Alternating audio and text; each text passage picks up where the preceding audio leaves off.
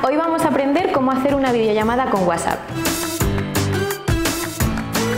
Primero buscamos el icono de WhatsApp y abrimos la aplicación. Buscamos a la persona que queremos llamar, yo voy a llamar a mi amiga María y le damos al icono de arriba de la cámara.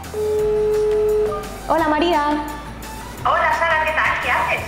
Bien, mira, estoy aquí con Carlos, espera que te le enseño. Para cambiar la imagen le damos a la cámara. Hola Carlos. Hola Carlos. Oye, ¿ya habéis hablado con Pau?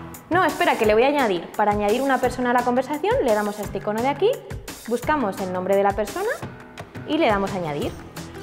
Hola Pau. Hola, ¿qué tal? Hola. ¿Qué tal chicos?